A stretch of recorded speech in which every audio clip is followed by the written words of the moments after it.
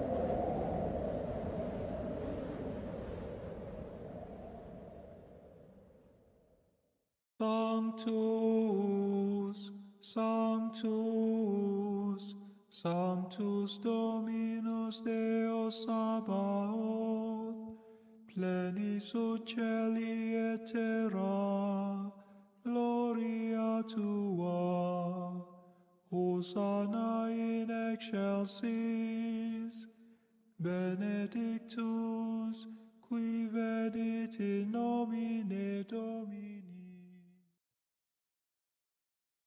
Welcome, brothers and sisters, sons and daughters, mothers and fathers and elders to the Word of God.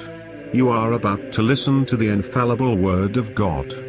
Every Catholic should have a copy of the Douay-Rheims Bible translated by St. Jerome in his home. The Douay-Rheims Bible is the number one Bible with the purest translation. The Word of God as you know, is not something we read or hear once and then never read or hear it again.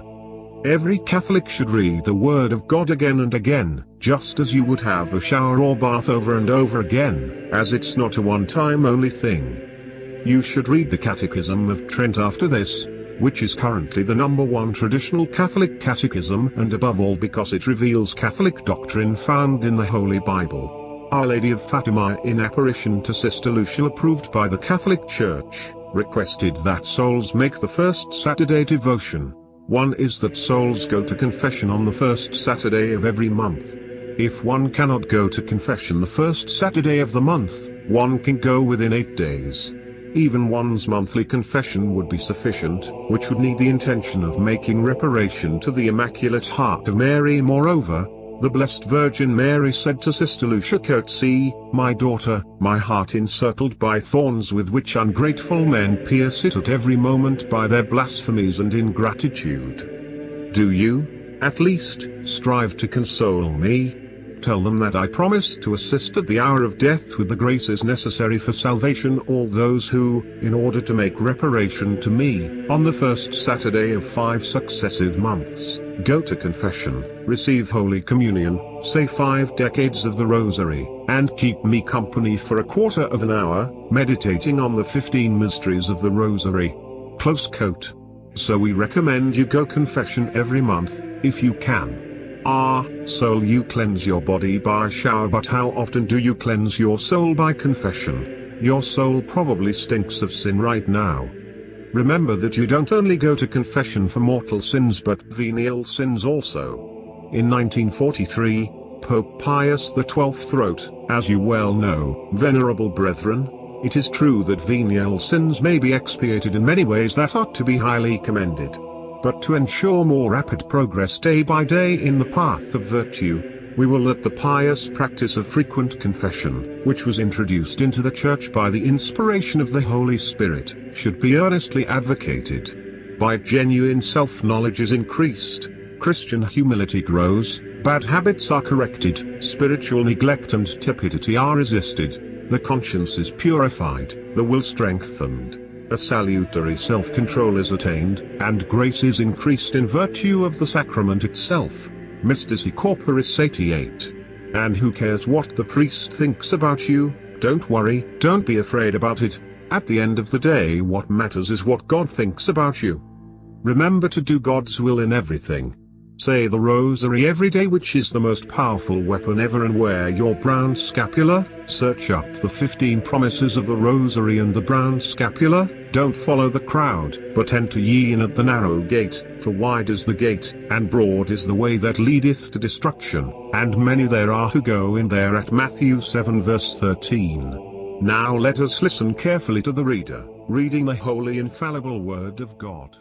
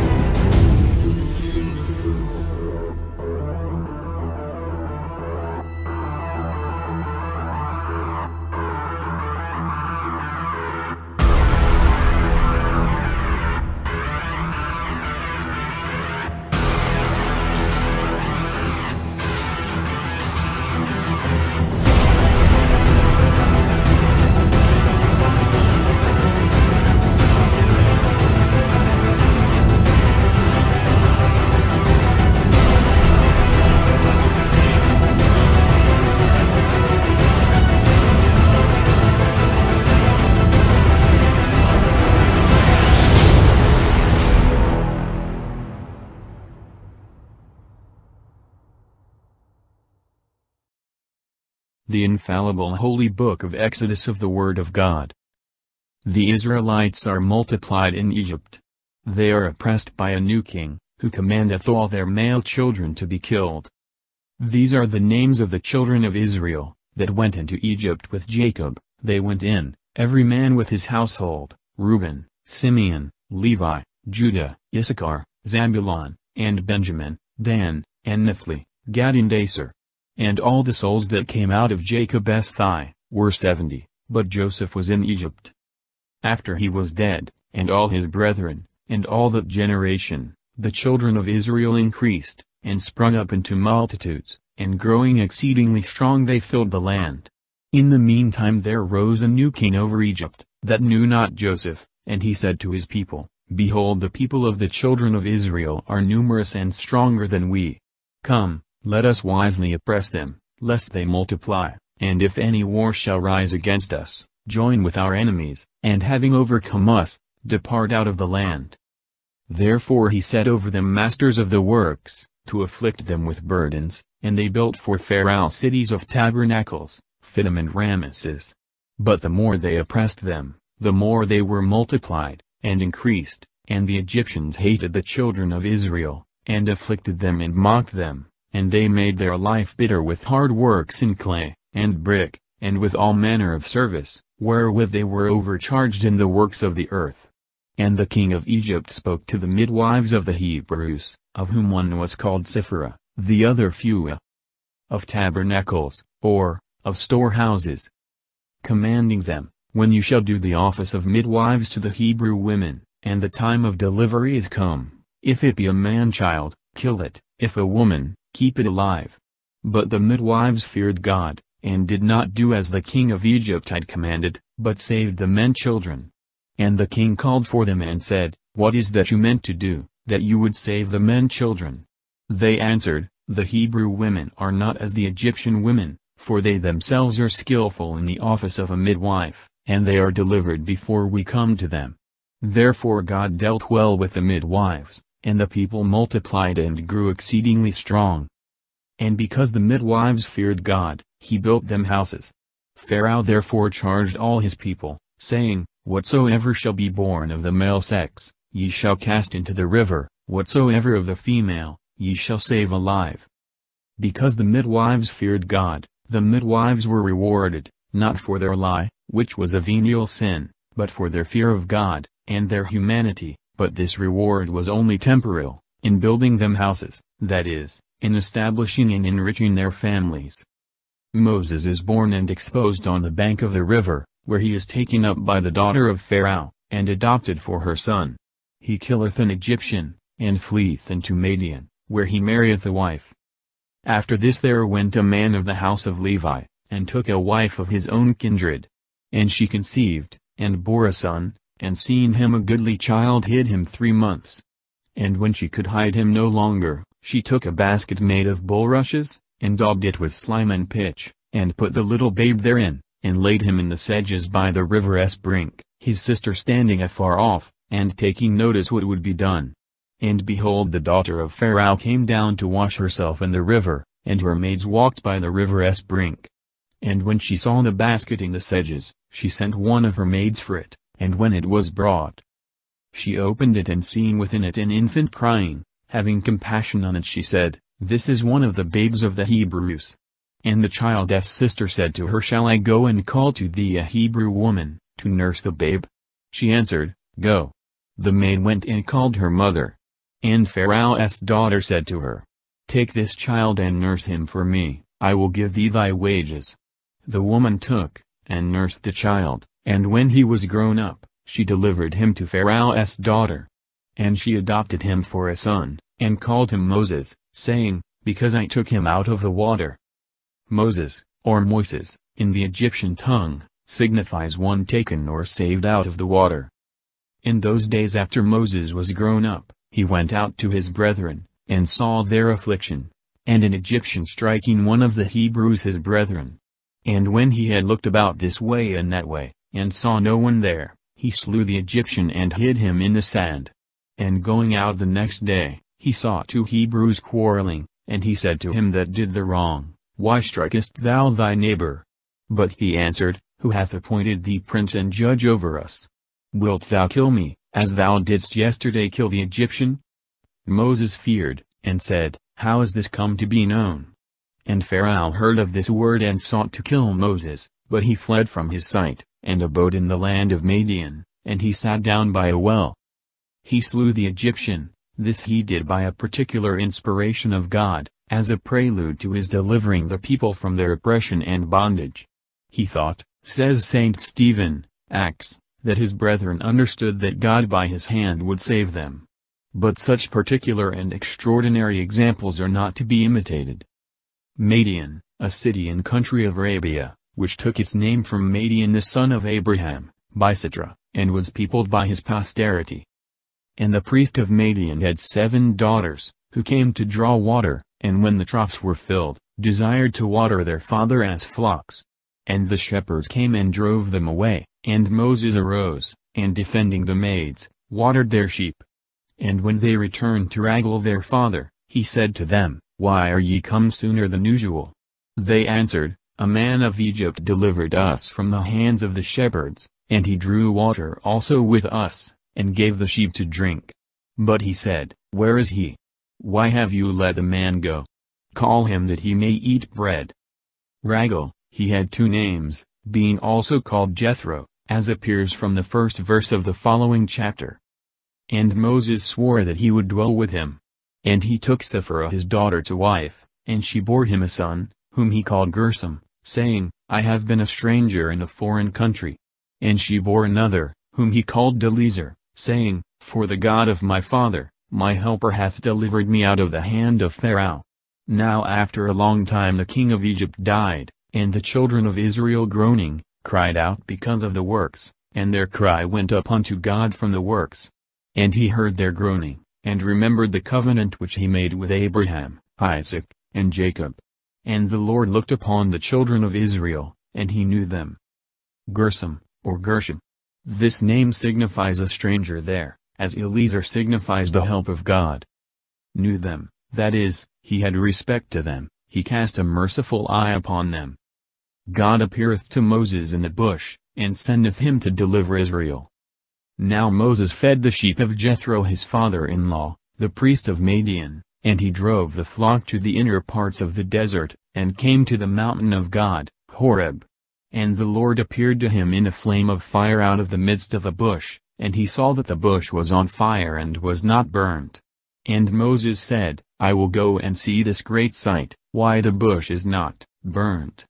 And when the Lord saw that he went forward to see, he called to him out of the midst of the bush, and said, Moses, Moses. And he answered, Here I am. And he said, Come not nigh hither, put off the shoes from thy feet, for the place whereon thou standest is holy ground. The Lord appeared, that is, an angel representing God, and speaking in his name. And he said, I am the God of thy father, the God of Abraham, the God of Isaac, and the God of Jacob.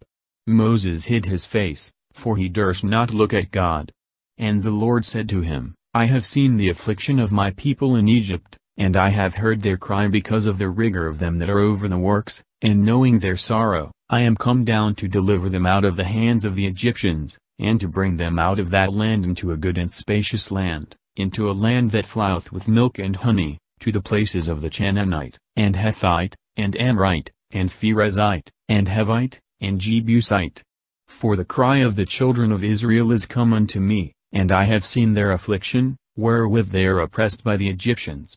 But come, and I will send thee to Pharaoh, that thou mayst bring forth my people, the children of Israel out of Egypt. And Moses said to God, Who am I that I should go to Pharaoh, and should bring forth the children of Israel out of Egypt? And he said to him, I will be with thee, and this thou shalt have for a sign, that I have sent thee, when thou shalt have brought my people out of Egypt, thou shalt offer sacrifice to God upon this mountain. Moses said to God, Lo, I shall go to the children of Israel, and say to them, The God of your fathers hath sent me to you. If they should say to me, what is his name? What shall I say to them?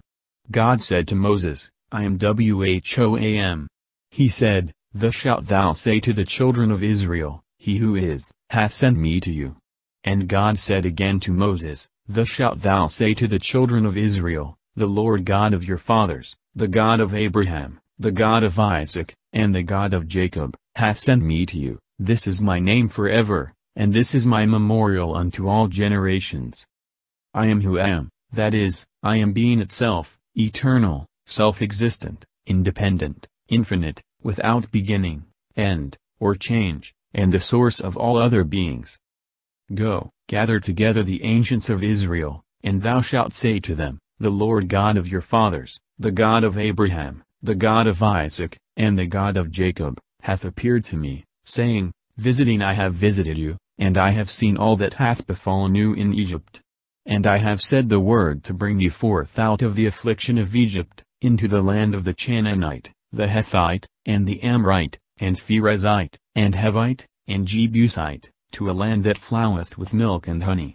And they shall hear thy voice, and thou shalt go in, thou and the ancients of Israel, to the king of Egypt, and thou shalt say to him, The Lord God of the Hebrews hath called us, we will go three days' journey into the wilderness, to sacrifice unto the Lord our God. But I know that the king of Egypt will not let you go, but by a mighty hand. For I will stretch forth my hand and will strike Egypt with all my wonders which I will do in the midst of them, after these he will let you go. And I will give favor to this people, in the sight of the Egyptians, and when you go forth, You shall not depart empty, but every woman shall ask of her neighbor, and of her that is in her house, vessels of silver and of gold, and raiment, and you shall put them on your sons and daughters, and shall spoil Egypt. Shall spoil, that is, you shall strip, and take away the goods of the Egyptians. This was not authorizing theft or injustice, but was a just disposal made by him, who is the great Lord and Master of all things, in order to pay the children of Israel some part of what was due to them from the Egyptians for their labors. Moses is empowered to confirm his mission with miracles, his brother Aaron is appointed to assist him. Moses answered and said, They will not believe me, nor hear my voice, but they will say, The Lord hath not appeared to thee. Then he said to him, What is that thou holdest in thy hand? He answered, A rod. And the Lord said, Cast it down upon the ground. He cast it down, and it was turned into a serpent, so that Moses fled from it. And the Lord said, Put out thy hand and take it by the tail. He put forth his hand, and took hold of it, and it was turned into a rod. That they may believe, saith he, that the Lord God of their fathers, the God of Abraham, the God of Isaac, and the God of Jacob, hath appeared to thee. And the Lord said again, Put thy hand into thy bosom. And when he had put it into his bosom, he brought it forth leprous as snow. And he said, Put back thy hand into thy bosom. He put it back, and brought it out again, and it was like the other flesh. If they will not believe thee, saith he, nor hear the voice of the former sign, they will believe the word of the latter sign. But if they will not even believe these two signs, nor hear thy voice, take of the river water, and pour it out upon the dry land, and whatsoever thou drawest out of the river shall be turned into blood. Moses said, I beseech thee, Lord.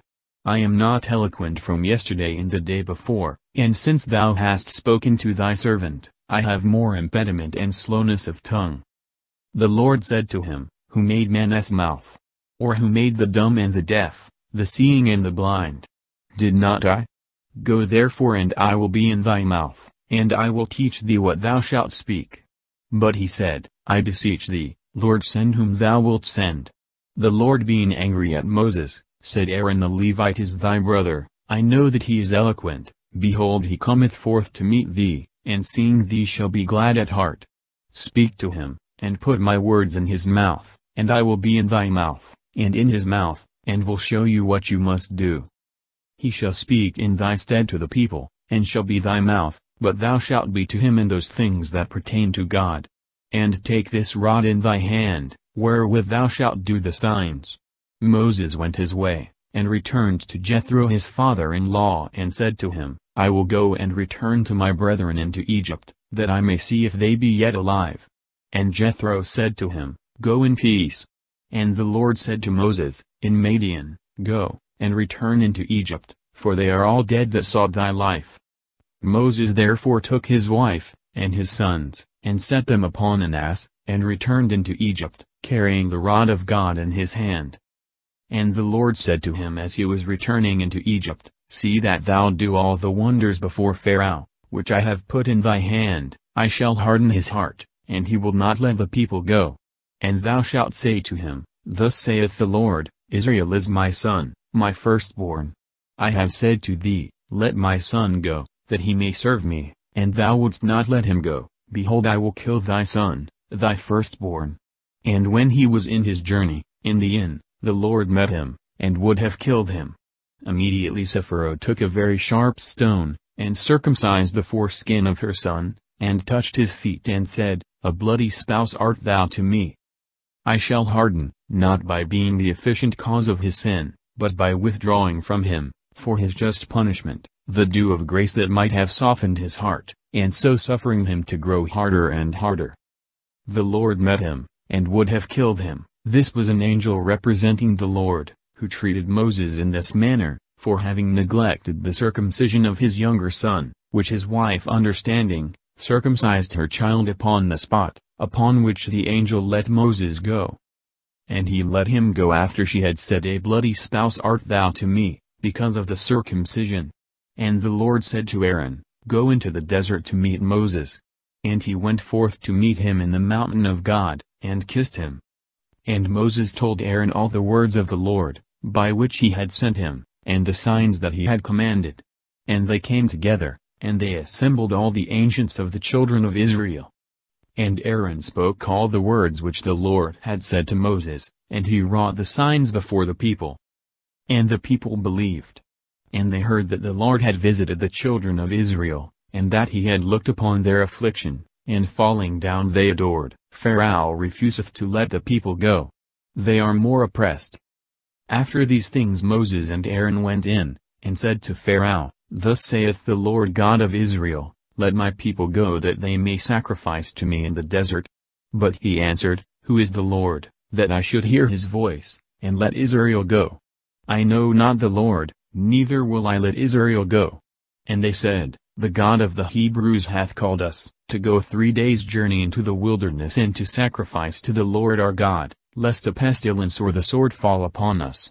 The king of Egypt said to them, why do you Moses and Aaron draw off the people from their works?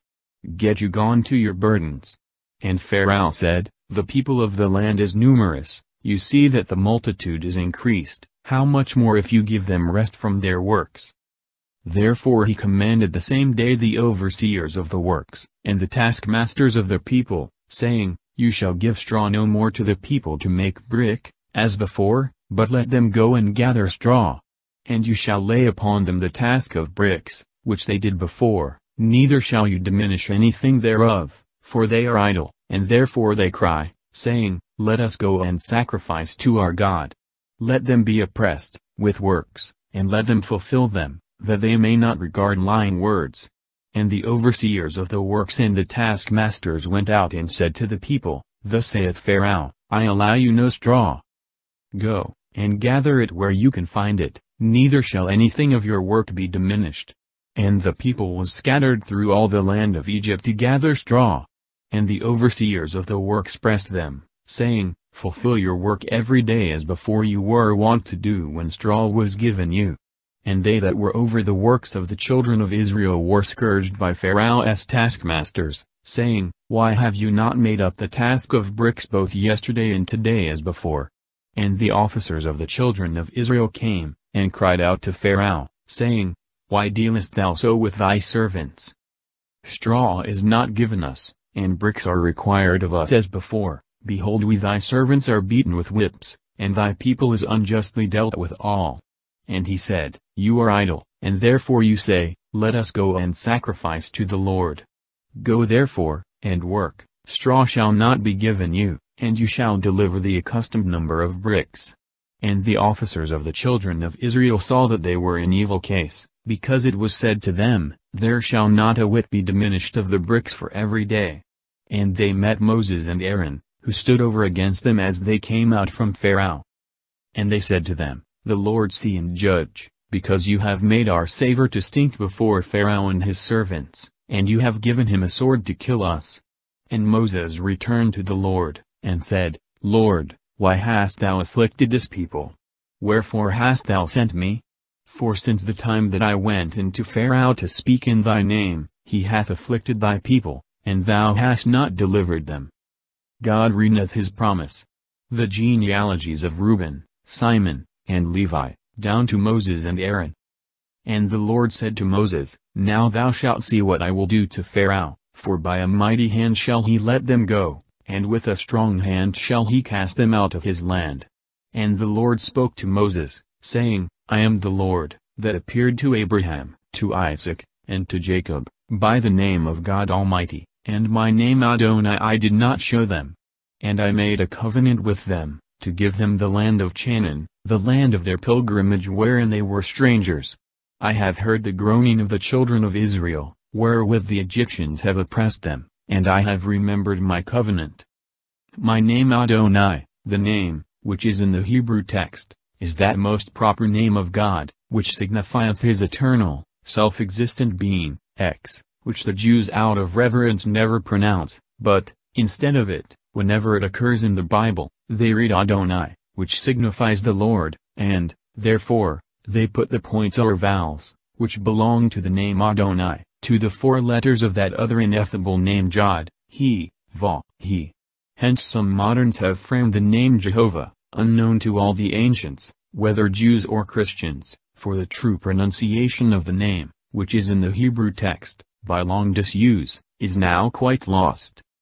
Therefore say to the children of Israel, I am the Lord who will bring you out from the work prison of the Egyptians, and will deliver you from bondage, and redeem you with a high arm, and great judgments. And I will take you to myself for my people, I will be your God, and you shall know that I am the Lord your God who brought you out from the work prison of the Egyptians. And brought you into the land, concerning which I lifted up my hands to give it to Abraham, Isaac, and Jacob and I will give it you to possess, I am the Lord. And Moses told all this to the children of Israel, but they did not hearken to him, for anguish of spirit, and most painful work. And the Lord spoke to Moses, saying, Go in, and speak to Pharaoh king of Egypt, that he let the children of Israel go out of his land.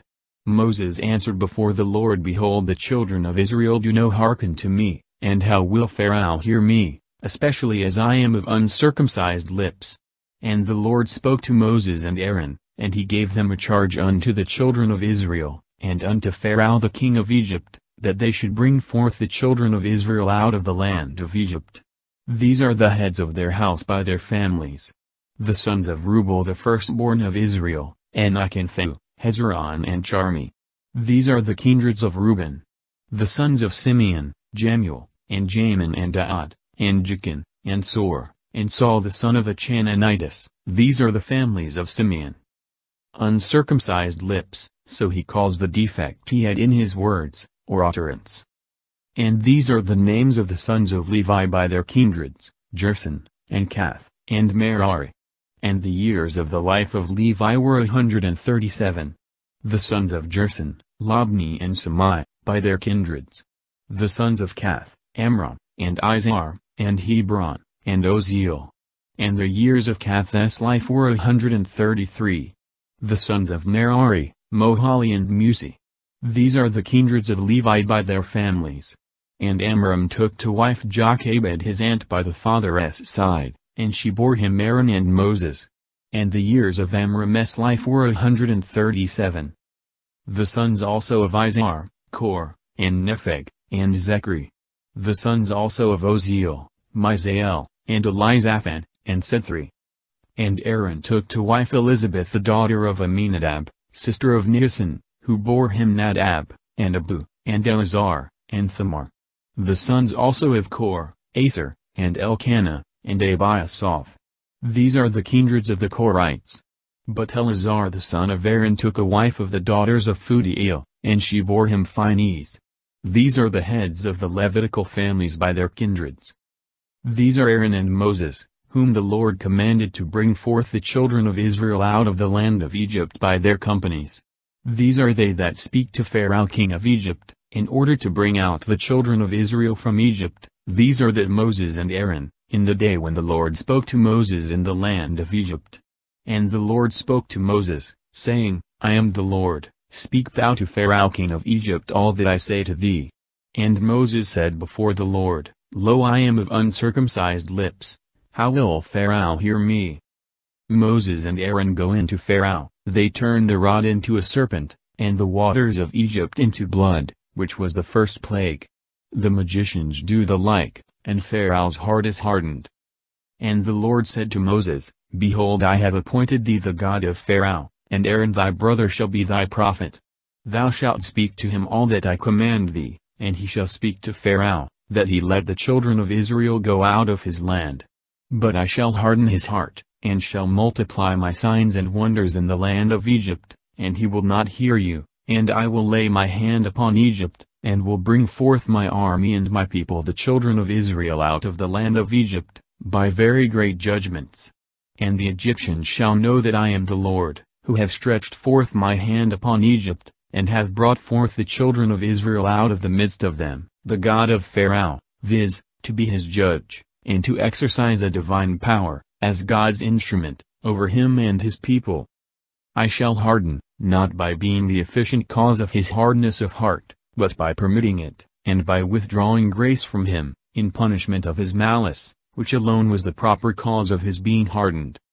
And Moses and Aaron did as the Lord had commanded, so did they. And Moses was eighty years old, and Aaron eighty-three, when they spoke to Pharaoh.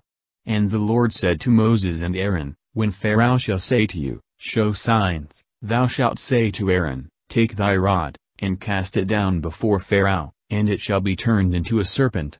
So Moses and Aaron went in unto Pharaoh, and did as the Lord had commanded. And Aaron took the rod before Pharaoh, and his servants, and it was turned into a serpent. And Pharaoh called the wise men and the magicians, and they also by Egyptian enchantments and certain secrets did in like manner. And they every one cast down their rods, and they were turned into serpents, but Aaron's rod devoured their rods.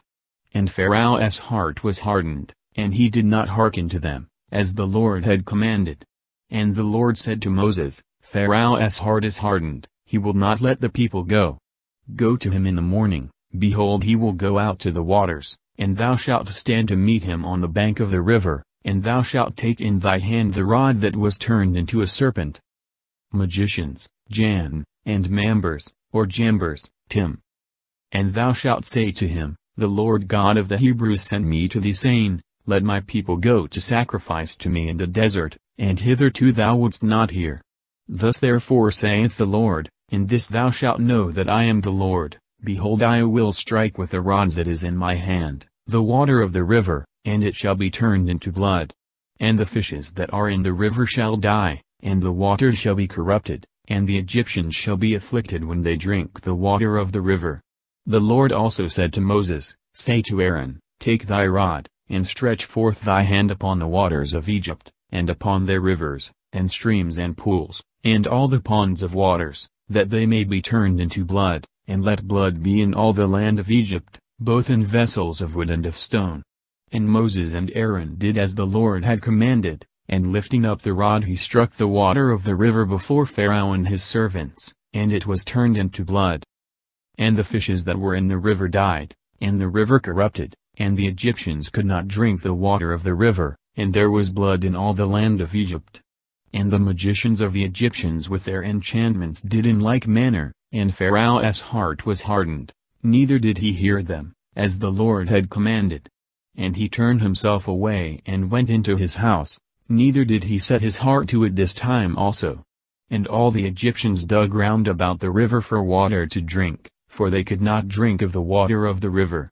And seven days were fully ended, after that the Lord struck the river. The second plague is of frogs, Pharaoh promiseth to let the Israelites go, but breaketh his promise.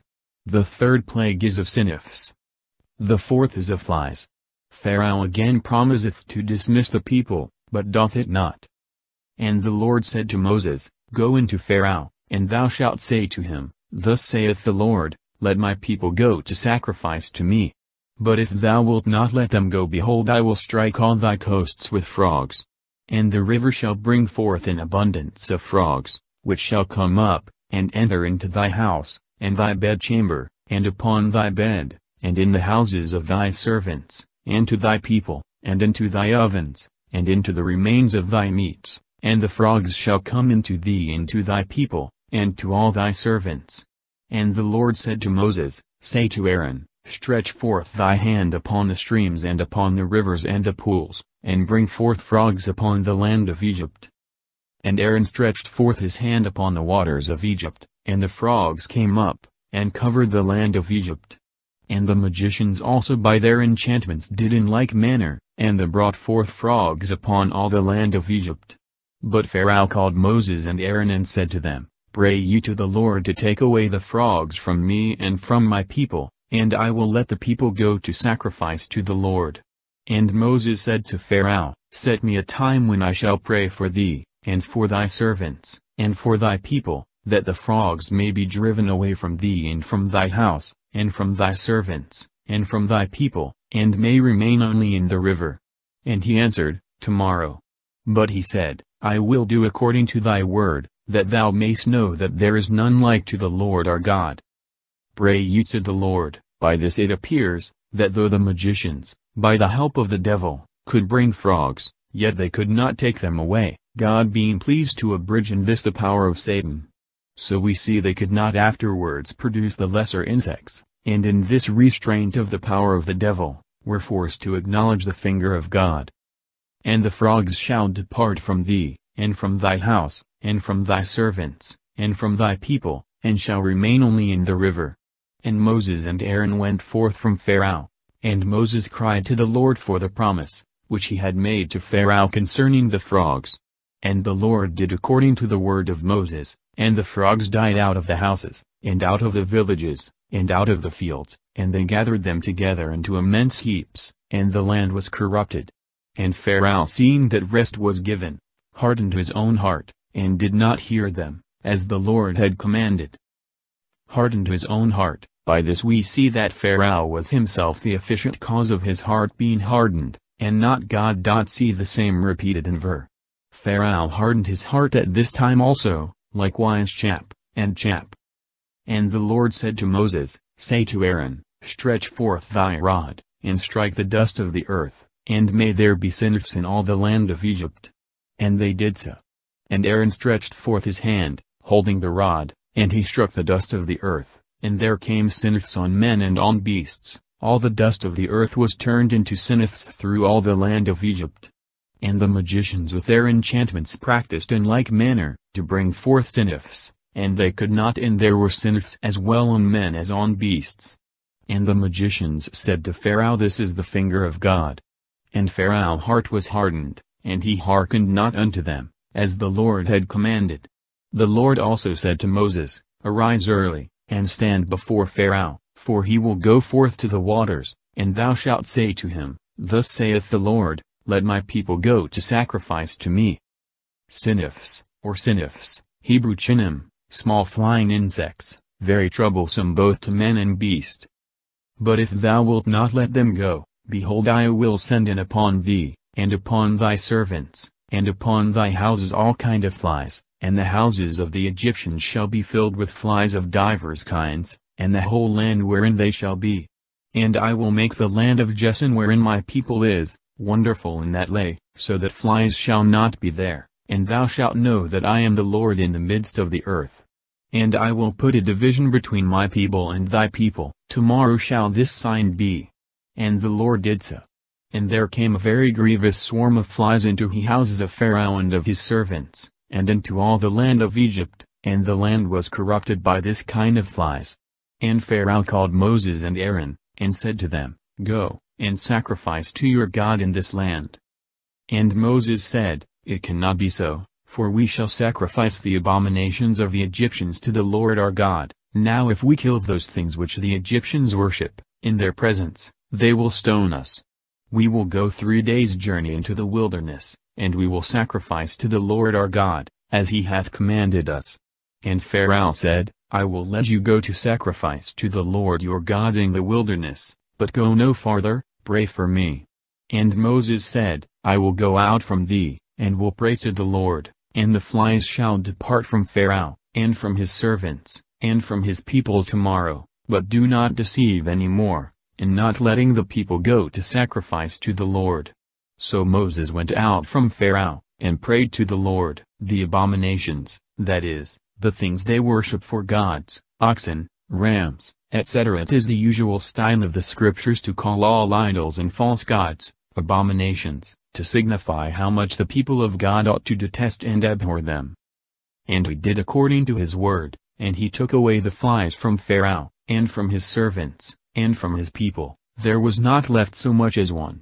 And Pharaoh's heart was hardened. The fifth plague is a murrain among the cattle. The sixth, of boils in men and beasts. The seventh, of hail. Pharaoh promiseth again to let the people go, and breaketh his word. And the Lord said to Moses, Go into Pharaoh, and speak to him, Thus saith the Lord God of the Hebrews, Let my people go to sacrifice to me. But if thou refuse, and withhold them still, behold my hand shall be upon thy fields, and a very grievous murrain upon thy horses, and asses, and camels, and oxen, and sheep. And the Lord will make a wonderful difference between the possessions of Israel and the possessions of the Egyptians, that nothing at all shall die of those things that belong to the children of Israel. And the Lord appointed a time, saying, Tomorrow will the Lord do this thing in the land. The Lord therefore did this thing the next day, and all the beasts of the Egyptians died, but of the beasts of the children of Israel there died not one. And Pharaoh sent to see, and there was not anything dead of that which Israel possessed. And Pharaoh's heart was hardened, and he did not let the people go. And the Lord said to Moses and Aaron, Take you handfuls of ashes out of the chimney, and let Moses sprinkle it in the air in the presence of Pharaoh. And be there dust upon all the land of Egypt, for there shall be boils and swelling blains both in men and beasts in the whole land of Egypt. And they took ashes out of the chimney, and stood before Pharaoh, and Moses sprinkled it in the air, and there came boils with swelling blains in men and beasts. All the beasts, that is, many of all kinds. Neither could the magicians stand before Moses for the boils that were upon them, and in all the land of Egypt. And the Lord hardened Pharaoh's heart, and he hearkened not unto them, as the Lord had spoken to Moses. And the Lord said to Moses, Arise in the morning, and stand before Pharaoh, and thou shalt say to him, Thus saith the Lord the God of the Hebrews, Let my people go to sacrifice to me. For I will at this time send all my plagues upon thy heart, and upon thy servants, and upon thy people, that thou mayst know there is none like me in all the earth. For now I will stretch out my hand to strike thee, and thy people with pestilence, and thou shalt perish from the earth. Hardened, see the annotations above, chap, chap, and chap. And therefore have I raised thee, that I may show my power in thee, and my name may be spoken of throughout all the earth. Dost thou yet hold back my people, and wilt thou not let them go? Behold I will cause it to rain tomorrow at this same hour, an exceeding great hail, such as hath not been in Egypt from the day that it was founded, until this present time. Send therefore now presently, and gather together thy cattle, and all that thou hast in the field, for men and beasts, and all things that shall be found abroad, and not gathered together out of the fields, which the hail shall fall upon, shall die. He that feared the word of the Lord among Pharaoh's servants, made his servants and his cattle flee into houses. But he that regarded not the word of the Lord, left his servants and his cattle in the fields, and the Lord said to Moses, Stretch forth thy hand towards heaven, that there may be hail in the whole land of Egypt, upon men, and upon beasts, and upon every herb of the field in the land of Egypt. And Moses stretched forth his rod towards heaven, and the Lord sent thunder and hail, and lightning running along the ground, and the Lord rained hail upon the land of Egypt. And the hail and fire mixed with it drove on together, and it was of so great bigness, as never before was seen in the whole land of Egypt since the nation was founded. And the hail destroyed through all the land of Egypt all things that were in the fields, both man and beast, and the hail smote every herb of the field, and it broke every tree of the country. Only in the land of Gessen, where the children of Israel were, the hail fell not. And Pharaoh sent and called Moses and Aaron, saying to them, I have sinned this time also, the Lord is just, I and my people are wicked. Pray you to the Lord, that the thunderings of God and the hail may cease, that I may let you go, and that you may stay here no longer. Moses said, As soon as I am gone out of the city, I will stretch forth my hands to the Lord, and the thunders shall cease, and the hail shall be no more, that thou mayst know that the earth is the Lord's. But I know that neither thou, nor thy servants do yet fear the Lord God. The flax therefore and the barley were hurt, because the barley was green, and the flax was now boiled, but the wheat, and other winter corn were not hurt, because they were lateward. And when Moses was gone from Pharaoh out of the city, he stretched forth his hands to the Lord, and the thunders and the hail ceased, neither did there drop any more rain upon the earth.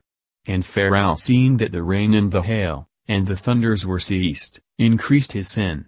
And his heart was hardened, and the heart of his servants, and it was made exceeding hard, neither did he let the children of Israel go, as the Lord had commanded by the hand of Moses. D. So that neither this time would he let the people go. The eighth plague of the locusts. The ninth, of darkness, Pharaoh is still hardened. And the Lord said to Moses, Go into Pharaoh, for I have hardened his heart, and the heart of his servants, that I may work these my signs in him.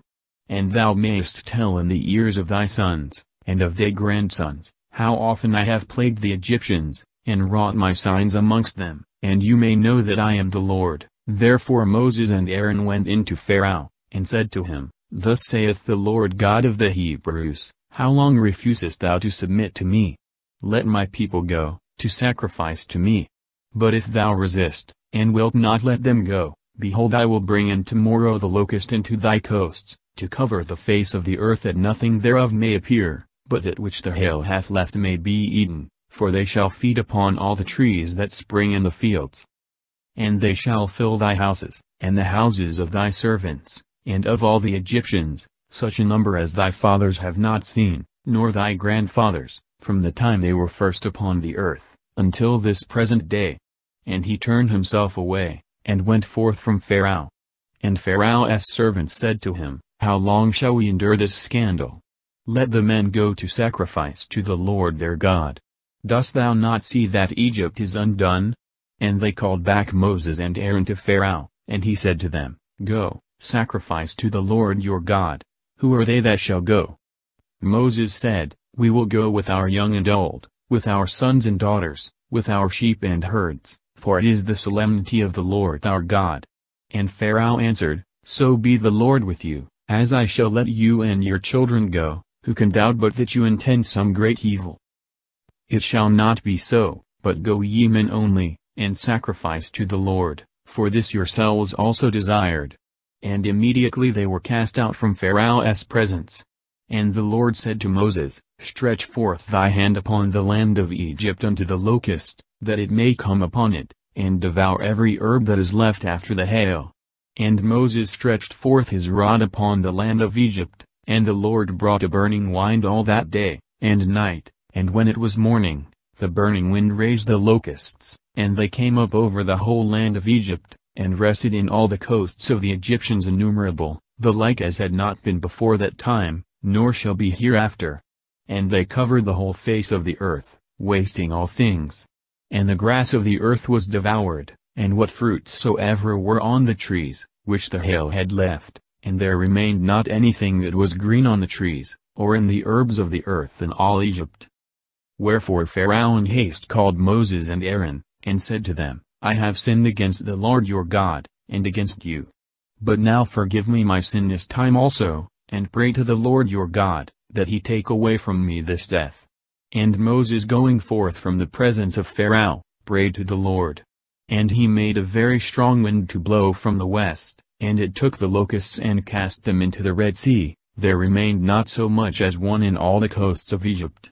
And the Lord hardened Pharaoh's heart, neither did he let the children of Israel go. And the Lord said to Moses, Stretch out thy hand towards heaven, and may there be darkness upon the land of Egypt, so thick that it may be felt.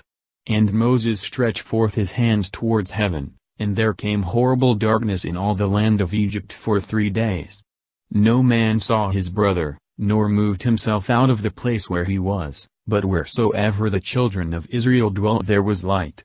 And Pharaoh called Moses and Aaron, and said to them, Go sacrifice to the Lord, let your sheep only, and herds remain, let your children go with you. Moses said, Thou shalt give us also sacrifices and burnt offerings, to the Lord our God.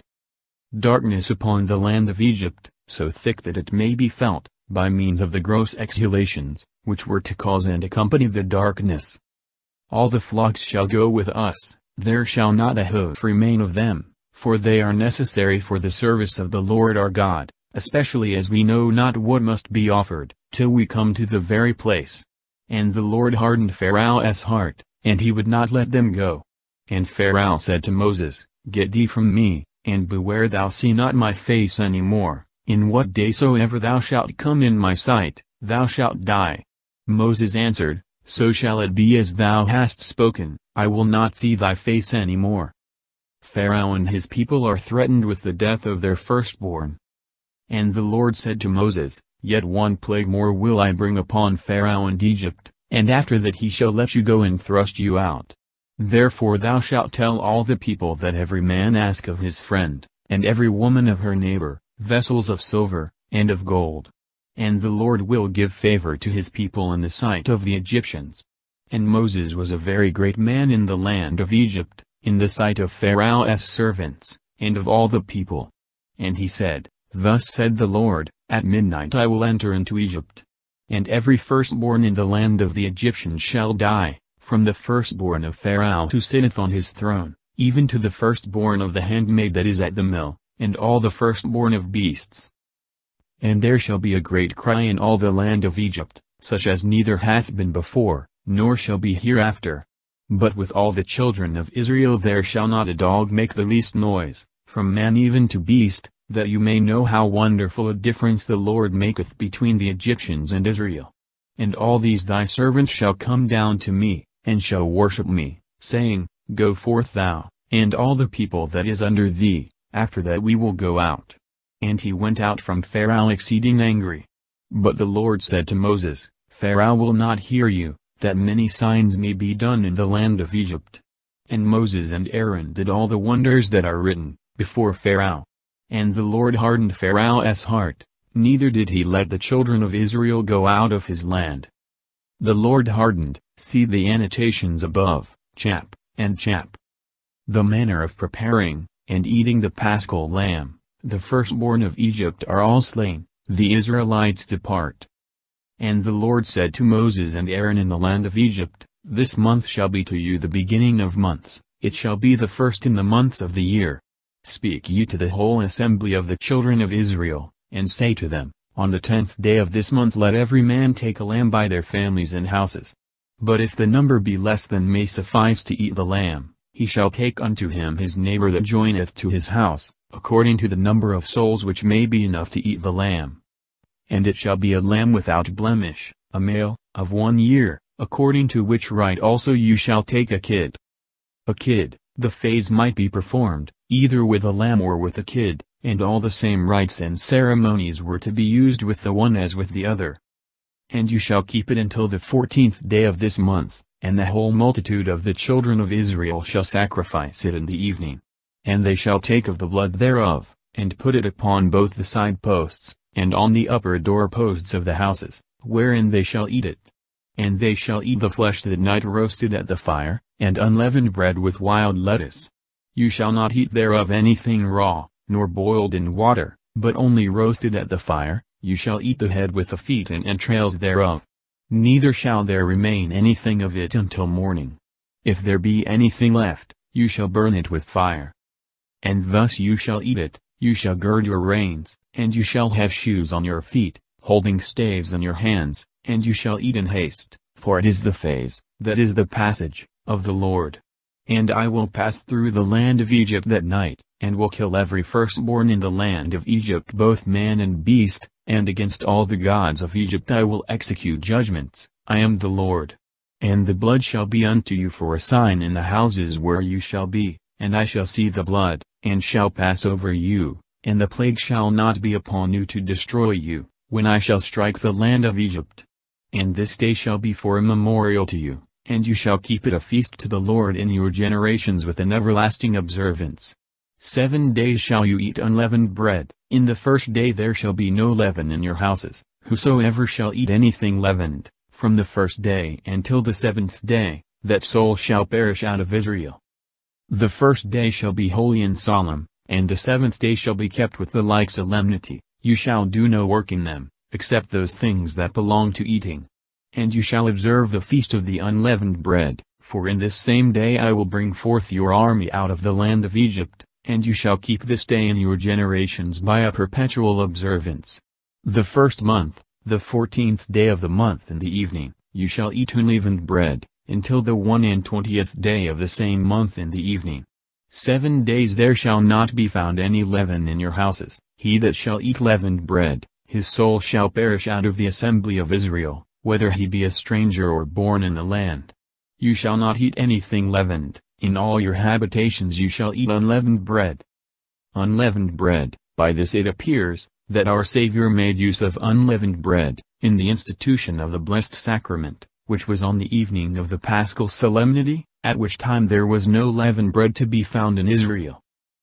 And Moses called all the ancients of the children of Israel, and said to them, Go take a lamb by your families, and sacrifice the phase. And dip a bunch of hyssop in the blood that is at the door, and sprinkle the transom of the door therewith, and both the door cheeks, let none of you go out of the door of his house till morning.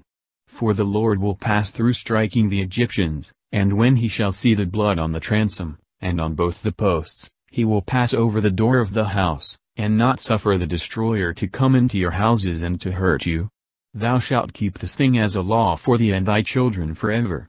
And when you have entered into the land which the Lord will give you as he hath promised, you shall observe these ceremonies. Sprinkle, this sprinkling the doors of the Israelites with the blood of the paschal lamb, in order to their being delivered from the sword of the destroying angel, was a lively figure of our redemption by the blood of Christ. And when your children shall say to you, What is the meaning of this service? You shall say to them, It is the victim of the passage of the Lord, when he passed over the houses of the children of Israel in Egypt, striking the Egyptians, and saving our houses. And the people bowing themselves, adored. And the children of Israel going forth did as the Lord had commanded Moses and Aaron. And it came to pass at midnight, the Lord slew every firstborn in the land of Egypt, from the firstborn of Pharaoh, who sat on his throne, unto the firstborn of the captive woman that was in the prison, and all the firstborn of cattle. And Pharaoh rose in the night, and all his servants, and all Egypt, for there was not a house wherein there lay not one dead. And Pharaoh calling Moses and Aaron, in the night, said, Arise and go forth from among my people, you and the children of Israel, go, sacrifice to the Lord as you say your sheep and herds take along with you, as you demanded, and departing, bless me. And the Egyptians pressed the people to go forth out of the land speedily, saying, We shall all die. The people therefore took dough before it was leavened, and tying it in their cloaks, put it on their shoulders. And the children of Israel did as Moses had commanded, and they asked of the Egyptians vessels of silver and gold, and very much raiment, and the Lord gave favor to the people in the sight of the Egyptians, so that they lent unto them, and they stripped the Egyptians.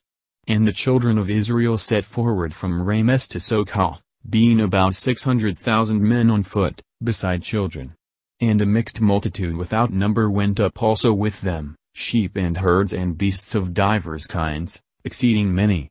And they baked the meal, which a little before they had brought out of Egypt, in dough, and they made earth cakes unleavened, for it could not be leavened, the Egyptians pressing them to depart, and not suffering them to make any stay, neither did they think of preparing any meat. And the abode of the children of Israel that they made in Egypt, was four hundred and thirty years. Which being expired, the same day all the army of the Lord went forth out of the land of Egypt.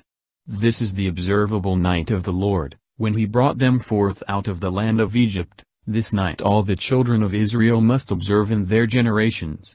And the Lord said to Moses and Aaron, This is the service of the phase, no foreigner shall eat of it. But every bought servant shall be circumcised, and so shall eat. The stranger and the hireling shall not eat thereof.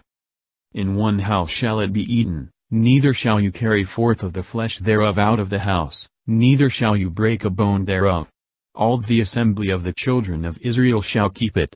And if any stranger be willing to dwell among you, and to keep the phase of the Lord, all his males shall first be circumcised, and then shall he celebrate it according to the manner, and he shall be as he that is born in the land, but if any man be uncircumcised, he shall not eat thereof. The same law shall be to him that is born in the land, and to the proselyte that sojourneth with you. And all the children of Israel did as the Lord had commanded Moses and Aaron. And the same day the Lord brought forth the children of Israel out of the land of Egypt by their companies. The paschal solemnity is to be observed, and the firstborn are to be consecrated to God. The people are conducted through the desert by a pillar of fire in the night, and a cloud in the day. And the Lord spoke to Moses, saying, Sanctify unto me every firstborn that openeth the womb among the children of Israel, as well of men as of beasts, for they are all mine. And Moses said to the people, Remember this day in which you came forth out of Egypt, and out of the house of bondage, for with a strong hand hath the Lord brought you forth out of this place, that you eat no leavened bread. This day you go forth in the month of new corn.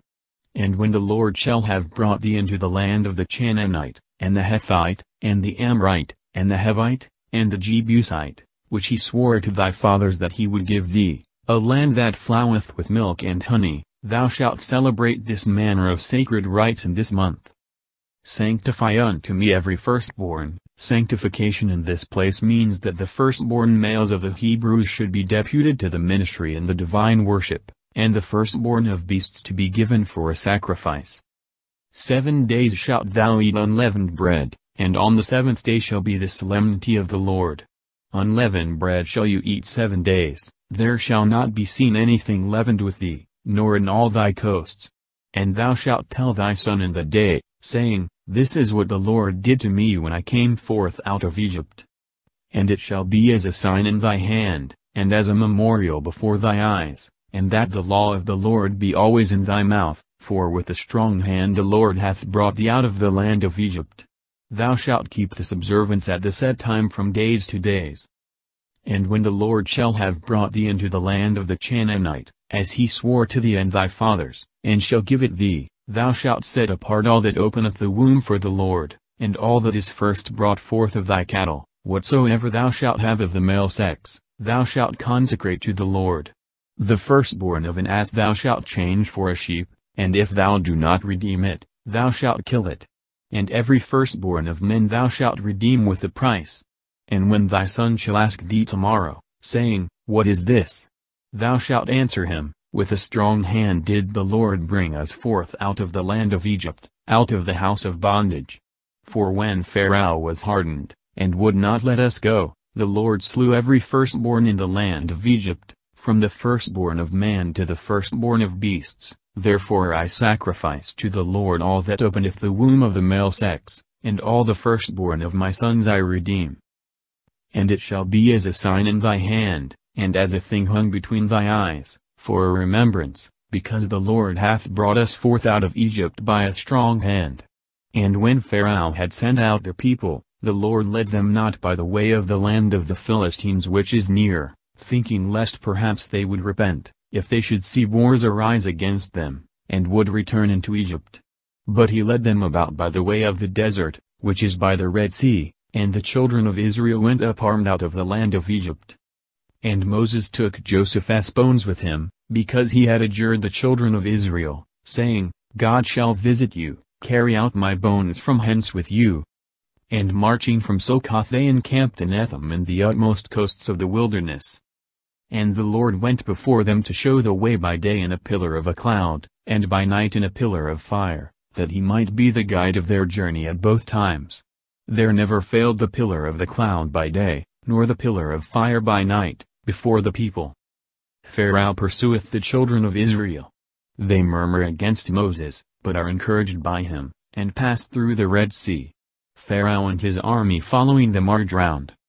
And the Lord spoke to Moses, saying, Speak to the children of Israel, let them turn and encamp over against Pihahiroth which is between Migdol and the sea over against Beelzaphan. You shall encamp before it upon the sea.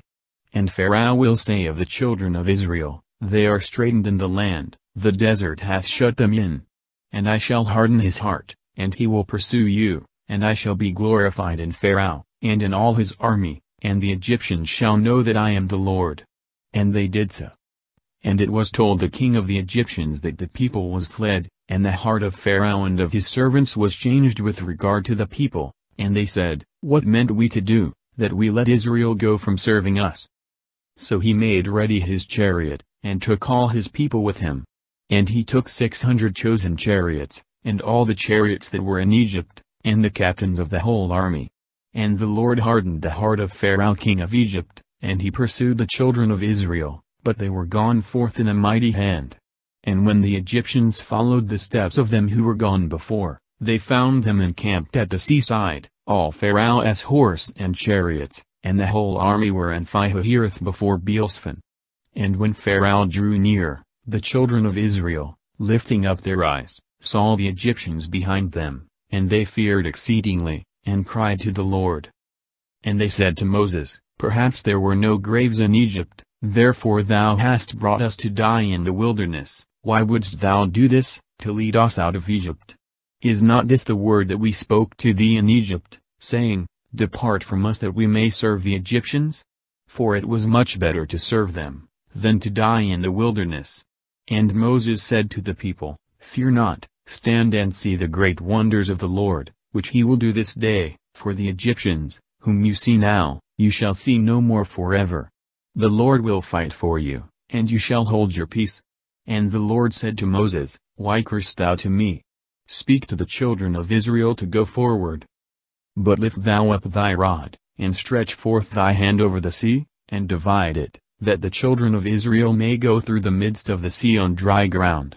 And I will harden the heart of the Egyptians to pursue you, and I will be glorified in Pharaoh, and in all his host, and in his chariots, and in his horsemen.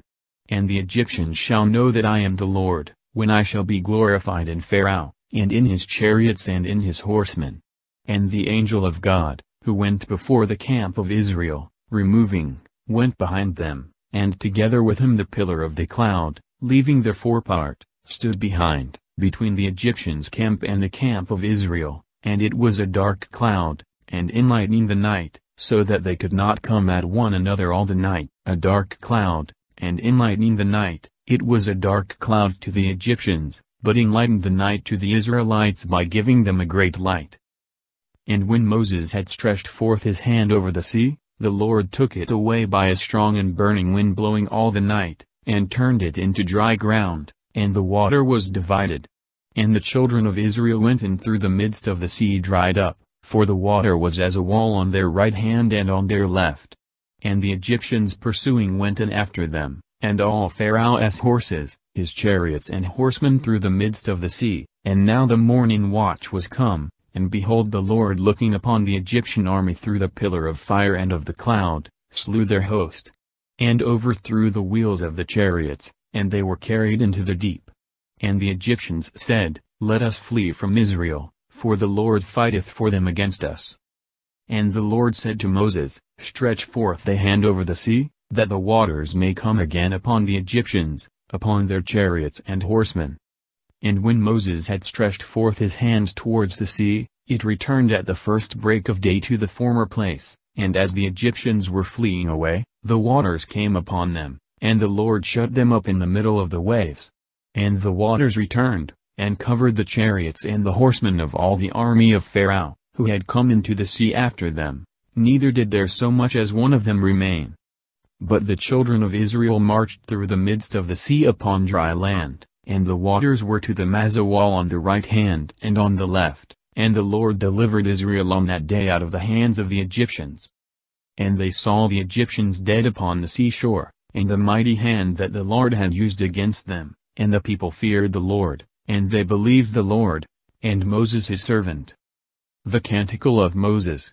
The bitter waters of Marah are made sweet. Then Moses and the children of Israel sung this canticle to the Lord, and said, Let us sing to the Lord, for he is gloriously magnified, the horse and the rider he hath thrown into the sea. The Lord is my strength and my praise, and he is become salvation to me, he is my God and I will glorify him, the God of my father, and I will exalt him. The Lord is as a man of war, almighty is his name. Pharaoh's chariots and his army he hath cast into the sea, his chosen captains are drowned in the Red Sea. The depths have covered them, they are sunk to the bottom like a stone. Thy right hand, O Lord, is magnified in strength, thy right hand, O Lord, hath slain the enemy. And in the multitude of thy glory thou hast put down thy adversaries. Thou hast sent thy wrath, which hath devoured them like stubble. And with the blast of thy anger the waters were gathered together, the flowing water stood, the depth were gathered together in the midst of the sea. The enemy said, I will pursue and overtake, I will divide the spoils, my soul shall have its fill, I will draw my sword, my hand shall slay them. Thy wind blew and the sea covered them, they sunk as lead in the mighty waters. Who is like to thee, among the strong, O Lord. Who is like to thee, glorious in holiness, terrible and praiseworthy, doing wonders. Thou stretchedst forth thy hand, and the earth swallowed them. In thy mercy thou hast been a leader to the people which thou hast redeemed, and in thy strength thou hast carried them to thy holy habitation. Nations rose up, and were angry, sorrows took hold on the inhabitants of Philistim. Then were the princes of Edom troubled, Trembling seized on the stout men of Moab, all the inhabitants of Chanaan became stiff. Let fear and dread fall upon them, in the greatness of thy arm, let them become unmovable as a stone, until thy people, O Lord, pass by, until this thy people pass by, which thou hast possessed. Thou shalt bring them in, and plant them in the mountain of thy inheritance, in thy most firm habitation which thou hast made, O Lord, thy sanctuary, O Lord, which thy hands have established. The Lord shall reign for ever and ever. For Pharaoh went in on horseback with his chariots and horsemen into the sea, and the Lord brought back upon them the waters of the sea, but the children of Israel walked on dry ground in the midst thereof. So Mary the prophetess, the sister of Aaron, took a timbrel in her hand, and all the women went forth after her with timbrels and with dances. And she began the song to them, saying, Let us sing to the Lord, for he is gloriously magnified, the horse and his rider he hath thrown into the sea. And Moses brought Israel from the Red Sea, and they went forth into the wilderness of Shur, and they marched three days through the wilderness, and found no water. And they came into Marah, and they could not drink the waters of Marah, because they were bitter, whereupon he gave a name also agreeable to the place, calling it Marah, that is, bitterness. And the people murmured against Moses, saying, What shall we drink? But he cried to the Lord, and he showed him a tree, which when he had cast into the waters, they were turned into sweetness. There he appointed him ordinances, and judgments, and there he proved him. Saying, If thou wilt hear the voice of the Lord thy God, and do what is right before him, and obey his commandments, and keep all his precepts, none of the evils that I laid upon Egypt, will I bring upon thee, for I am the Lord thy healer. And the children of Israel came into Elim, where there were twelve fountains of water, and seventy palm trees, and they encamped by the waters. The people murmur for want of meat, God giveth them quails and manna. And they set forward from Elim, and all the multitude of the children of Israel came into the desert of Sin, which is between Elim and Sinai, the fifteenth day of the second month, after they came out of the land of Egypt. And all the congregation of the children of Israel murmured against Moses and Aaron in the wilderness. And the children of Israel said to them, Would to God we had died by the hand of the Lord in the land of Egypt, when we sat over the flesh pots, and ate bread to the full. Why have you brought us into this desert, that you might destroy all the multitude with famine? And the Lord said to Moses, Behold I will rain bread from heaven for you, let the people go forth, and gather what is sufficient for every day, that I may prove them whether they will walk in my law, or not. But the sixth day let them provide for to bring in, and let it be double to that they were wont to gather every day. And Moses and Aaron said to the children of Israel, In the evening you shall know that the Lord hath brought you forth out of the land of Egypt, and in the morning you shall see the glory of the Lord, for he hath heard your murmuring against the Lord, but as for us, what are we, that you mutter against us? And Moses said, In the evening the Lord will give you flesh to eat, and in the morning bread to the full, for he hath heard your murmurings, with which you have murmured against him, for what are we? Your murmuring is not against us, but against the Lord. Moses also said to Aaron, Say to the whole congregation of the children of Israel, Come before the Lord, for he hath heard your murmuring. And when Aaron spoke to all the assembly of the children of Israel, they looked towards the wilderness, and behold the glory of the Lord appeared in a cloud. And the Lord spoke to Moses, saying, I have heard the murmuring of the children of Israel, say to them, In the evening you shall eat flesh, and in the morning you shall have your fill of bread, and you shall know that I am the Lord your God. So it came to pass in the evening, that quails coming up, covered the camp, and in the morning, a dew lay round about the camp. And when it had covered the face of the earth, it appeared in the wilderness small, and as it were beaten with a pestle, like unto the hoar frost on the ground. And when the children of Israel saw it, they said one to another, Manhu. Which signifieth, What is this? For they knew not what it was. And Moses said to them, This is the bread, which the Lord hath given you to eat. This is the word, that the Lord hath commanded, let every one gather of it as much as is enough to eat, a gomer for every man, according to the number of your souls that dwell in a tent, so shall you take of it.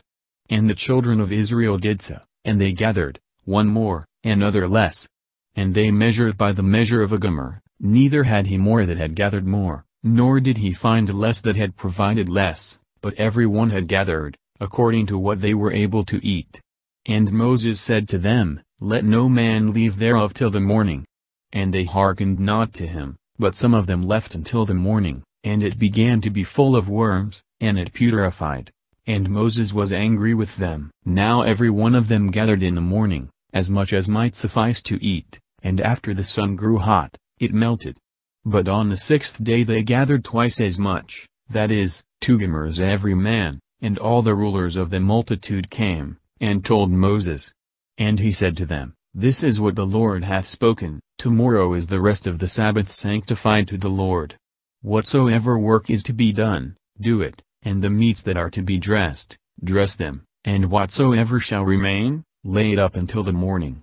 And they did so as Moses had commanded, and it did not putrefy, neither was there worm found in it. And Moses said, Eat it today, because it is the Sabbath of the Lord, today it shall not be found in the field. Gather it six days, but on the seventh day is the Sabbath of the Lord, therefore it shall not be found. And the seventh day came, and some of the people going forth to gather, found none. And the Lord said to Moses, How long will you refuse to keep my commandments, and my law? See that the Lord hath given you the Sabbath, and for this reason on the sixth day he giveth you a double provision, let each man stay at home, and let none go forth out of his place the seventh day. And the people kept the Sabbath on the seventh day. And the house of Israel called the name thereof manna, and it was like coriander seed white, and the taste thereof like to flour with honey. And Moses said, This is the word, which the Lord hath commanded, fill a gomer of it, and let it be kept unto generations to come hereafter, that they may know the bread, wherewith I fed you in the wilderness, when you were brought forth out of the land of Egypt. And Moses said to Aaron, Take a vessel, and put manna into it, as much as a gomer can hold, and lay it up before the Lord to keep unto your generations, as the Lord commanded Moses. And Aaron put it in the tabernacle to be kept. And the children of Israel ate manna forty years, till they came to a habitable land, with this meat were they fed, until they reached the borders of the land of Chanaan. Now a is the tenth part of an. The people murmur again for want of drink, the Lord giveth them water out of a rock. Moses lifting up his hand in prayer, Amalek is overcome. Then all the multitude of the children of Israel setting forward from the desert of Sin, by their mansions, according to the word of the Lord, encamped in Rephidim, where there was no water for the people to drink. And they chode with Moses, and said, Give us water, that we may drink. And Moses answered them, Why chide you with me? Wherefore do you tempt the Lord? So the people were thirsty there for want of water, and murmured against Moses, saying, Why didst thou make us go forth out of Egypt, to kill us and our children, and our beasts with thirst? And Moses cried to the Lord, saying, What shall I do to this people? Yet a little more and they will stone me. And the Lord said to Moses, Go before the people, and take with thee of the ancients of Israel, and take in thy hand the rod wherewith thou didst strike the river, and go. Behold I will stand there before thee, upon the rock Horeb, and thou shalt strike the rock, and water shall come out of it that the people may drink. Moses did so before the ancients of Israel, and he called the name of that place temptation, because the chiding of the children of Israel, and for that they tempted the Lord, saying, Is the Lord amongst us or not? And Amalek came, and fought against Israel in Rephidim. And Moses said to Joshua, Choose out men, and go out and fight against Amalek. Tomorrow I will stand on the top of the hill having the rod of God in my hand.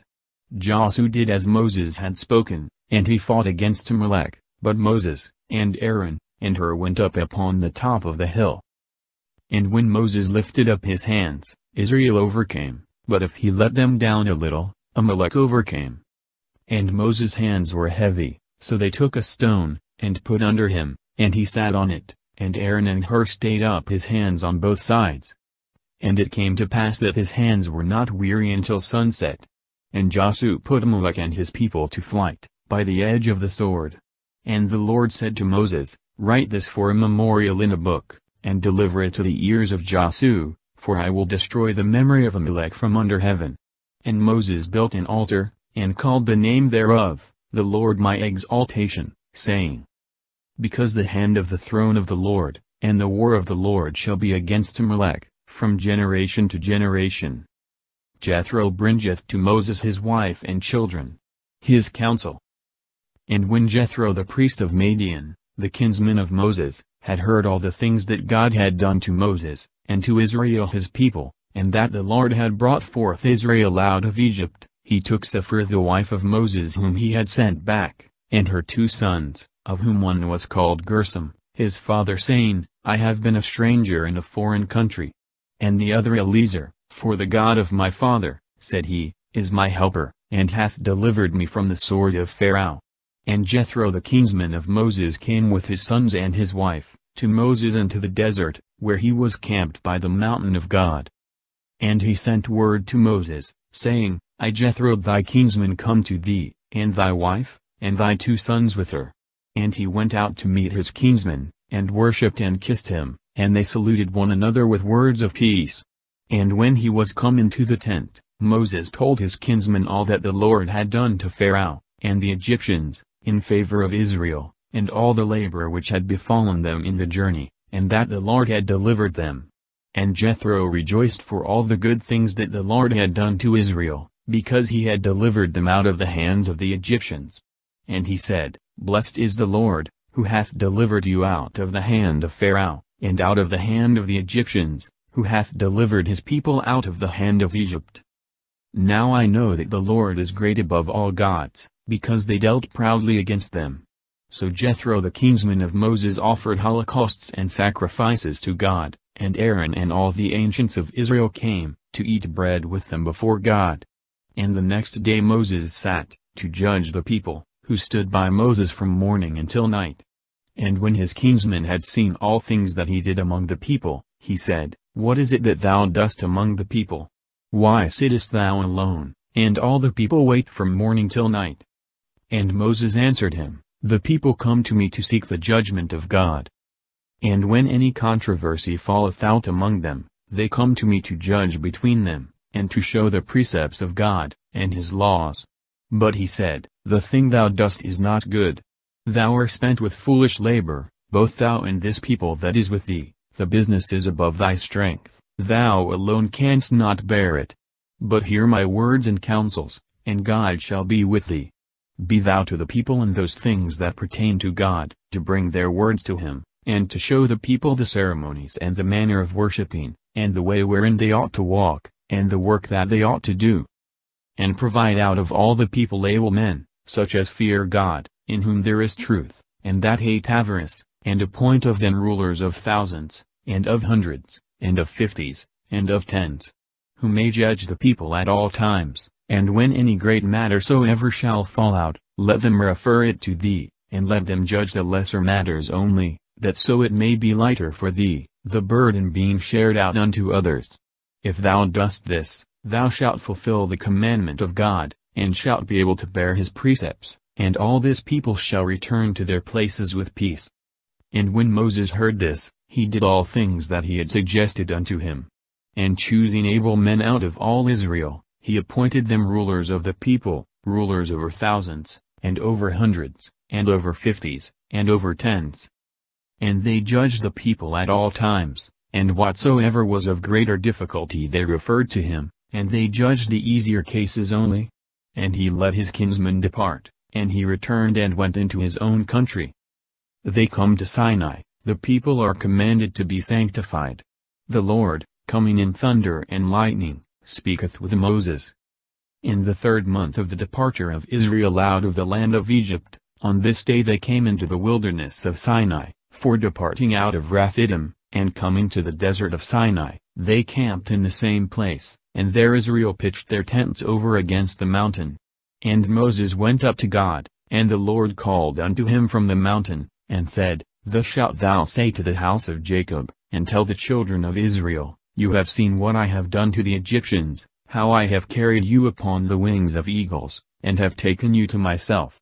If therefore you will hear my voice, and keep my covenant, you shall be my peculiar possession above all people, for all the earth is mine. And Moses went up to God, Moses went up to Mount Sinai, where God spoke to him. And you shall be to me a priestly kingdom, and a holy nation. Those are the words thou shalt speak to the children of Israel.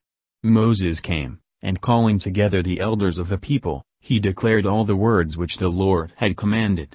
And all the people answered together, All that the Lord hath spoken, we will do. And when Moses had related the people's words to the Lord, the Lord said to him, Lo, now will I come to thee in the darkness of a cloud, that the people may hear me speaking to thee, and may believe thee forever. And Moses told the words of the people to the Lord. And he said to him, Go to the people, and sanctify them today, and tomorrow, and let them wash their garments. And let them be ready against the third day, for on the third day the Lord will come down in the sight of all the people upon Mount Sinai. And thou shalt appoint certain limits to the people round about, and thou shalt say to them, Take heed you go not up into the mount, and that ye touch not the borders thereof, every one that toucheth the mount dying he shall die. No hands shall touch him, but he shall be stoned to death, or shall be shot through with arrows, whether it be beast, or man, he shall not live. When the trumpet shall begin to sound, then let them go up into the mount. And Moses came down from the mount to the people, and sanctified them. And when they had washed their garments, he said to them, Be ready against the third day, and come not near your wives. And now the third day was come, and the morning appeared, and behold thunders began to be heard, and lightning to flash, and a very thick cloud to cover the mount, and the noise of the trumpet sounded exceeding loud, and the people that was in the camp, feared. And when Moses had brought them forth to meet God from the place of the camp, they stood at the bottom of the mount. And all Mount Sinai was on a smoke, because the Lord was come down upon it in fire, and the smoke arose from it as out of a furnace, and all the mount was terrible. And the sound of the trumpet grew by degrees louder and louder, and was drawn out to a greater length. Moses spoke, and God answered him. And the Lord came down upon Mount Sinai, in the very top of the mount, and he called Moses unto the top thereof. And when he was gone up thither, he said unto him, Go down, and charge the people, lest they should have a mind to pass the limits to see the Lord, and a very great multitude of them should perish. The priests also that come to the Lord, let them be sanctified, lest he strike them. And Moses said to the Lord, The people cannot come up to Mount Sinai, for thou did charge, and command, saying, Set limits about the mount, and sanctify it. And the Lord said to him, Go, get thee down, and thou shalt come up, thou and Aaron with thee. But let not the priests and the people pass the limits, nor come up to the Lord, lest he kill them. And Moses went down to the people and told them all. The Ten Commandments. And the Lord spoke all these words, I am the Lord thy God, who brought thee out of the land of Egypt, out of the house of bondage. Thou shalt not have strange gods before me. Thou shalt not make to thyself a graven thing, nor the likeness of anything that is in heaven above, or in the earth beneath, nor of those things that are in the waters under the earth. Thou shalt not adore them, nor serve them. I am the Lord thy God, mighty, jealous, visiting the iniquity of the fathers upon the children, unto the third and fourth generation of them that hate me. A graven thing, nor the likeness of anything, all such images, or likenesses, are forbidden by this commandment, as are made to be adored and served, according to that which immediately follows. Thou shalt not adore them, nor serve them.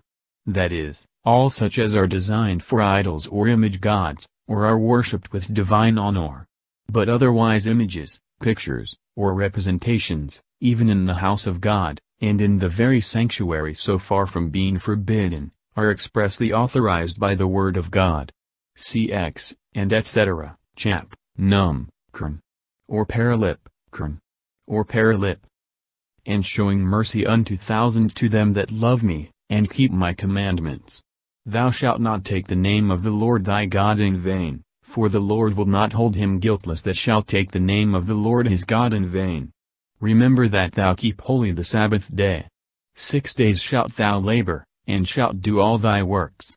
But on the seventh day is the Sabbath of the Lord thy God, thou shalt do no work on it, thou nor thy son, nor thy daughter, nor thy manservant, nor thy maidservant, nor thy beast, nor the stranger that is within thy gates.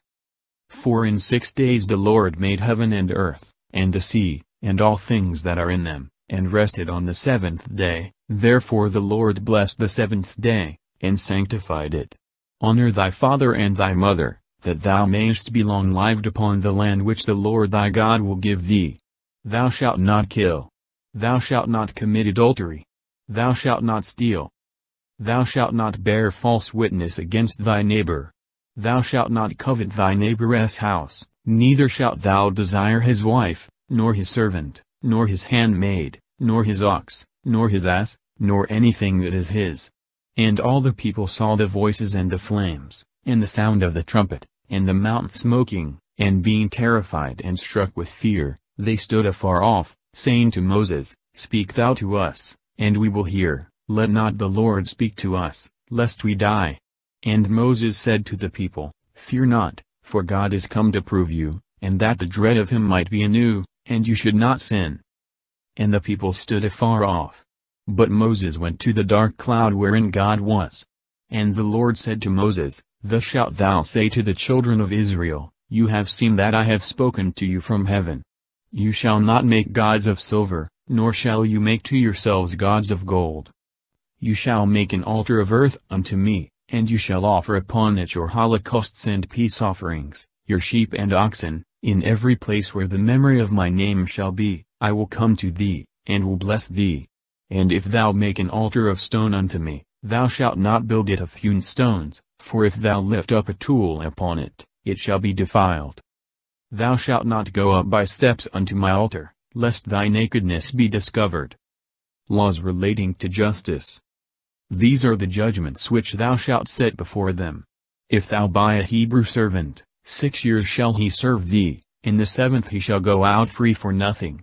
With what raiment he came in, with the like let him go out, if having a wife, his wife also shall go out with him.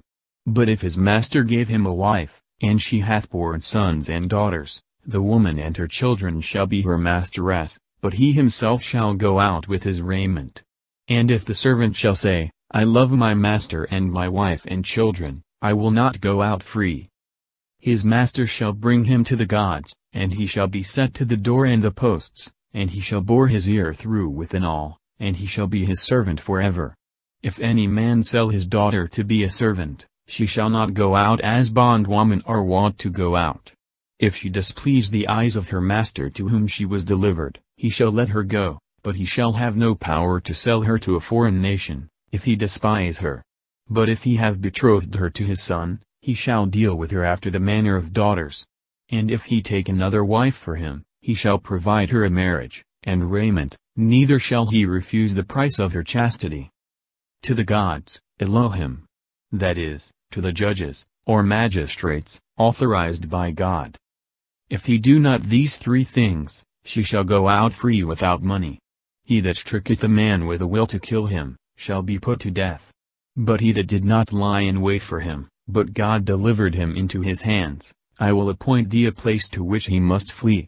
If a man kill his neighbor on set purpose and by lying in wait for him, thou shalt take him away from my altar, that he may die. He that tricketh his father or mother, shall be put to death. He that shall steal a man, and sell him, being convicted of guilt, shall be put to death. He that cursed his father, or mother, shall die the death. If men quarrel, and the one strike his neighbor with a stone or with his fist, and he die not, but keepeth his bed, if he rise again and walk abroad upon his staff, he that struck him shall be quit, yet so that he make restitution for his work and for his expenses upon the physicians. He that tricketh his bondman or bondwoman with a rod, and they die under his hands, shall be guilty of the crime.